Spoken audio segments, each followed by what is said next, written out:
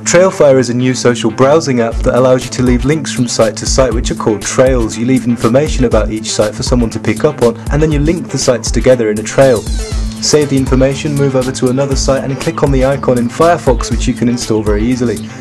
Tap in the information that you want someone to know about this site and save again.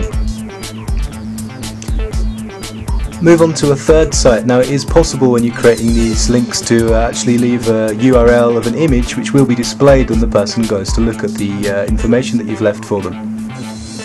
If we click down here on the little speech bubble you can see exactly what the viewer is going to see with the image embedded.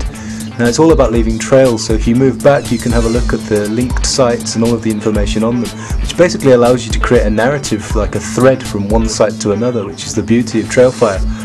You can then email that to someone, let them know exactly where it is, and they can then pick it up and follow it through at their leisure.